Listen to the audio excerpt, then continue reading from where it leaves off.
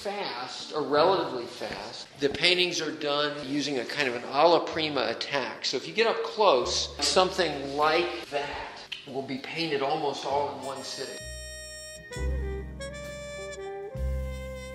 It's a long sitting, maybe five or six hours, and it's on top of maybe one or two previous attempts. You do often, you know, your first shot, then sometimes you have to scrape that down and repaint it. So I do that sort of programmatically. They're painted very directly in very large passages, like that might be a day of painting. When you're attacking it in that really direct way, and you're growing the small details out of very large initial layers of paint, painting kind of moves along, it has to.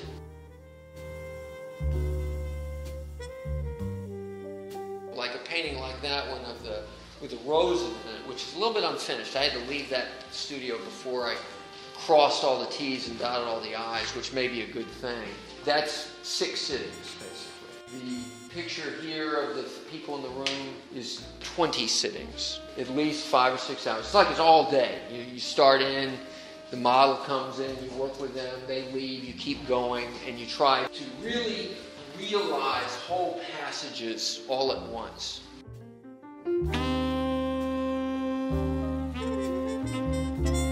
I mix almost entirely with a knife because what I'm needing to do a lot of times is generate large mixtures of paint. You know that if you mix with a brush, you, you, you're always running out of paint, basically.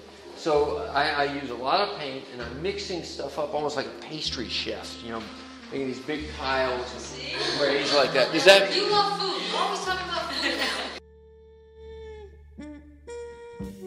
I don't like to eat it. I like to paint it, basically. I mean, like I don't eat any of this stuff, but I paint it. But yeah, I'm mixing up a lot of paint, and then usually that is a, applied with a knife, almost like a, a plaster putting on a skim coat or something.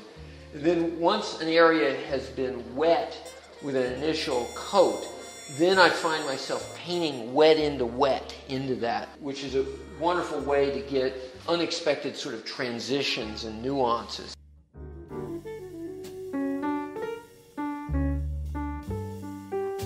Something like that coat might start with that yellow against this yellow right here. It's one big wet patch.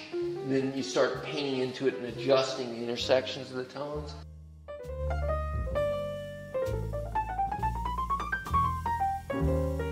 It's always a mixture of the knife and the brush, but this actually gives you a really good idea of the way the paintings are kind of attacked.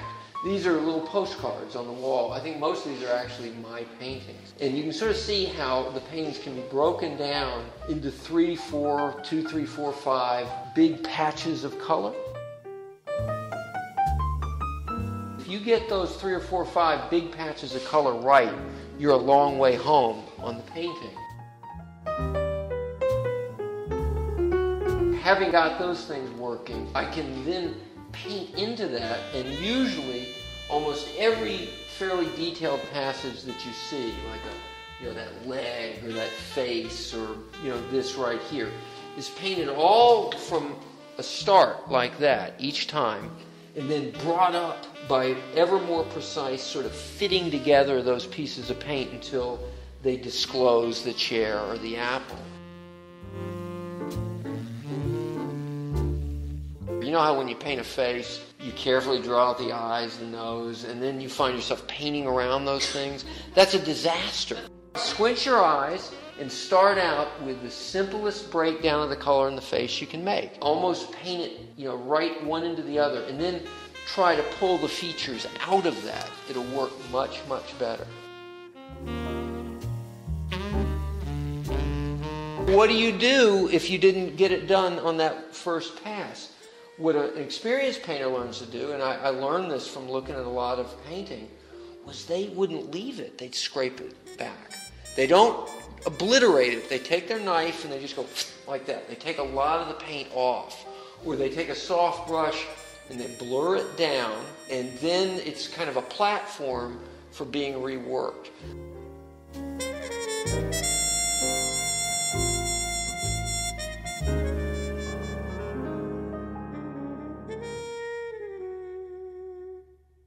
But to achieve the kind of realization that I like, where it feels extremely detailed but also very fresh and all at once, that required increasingly painting in very long attacks.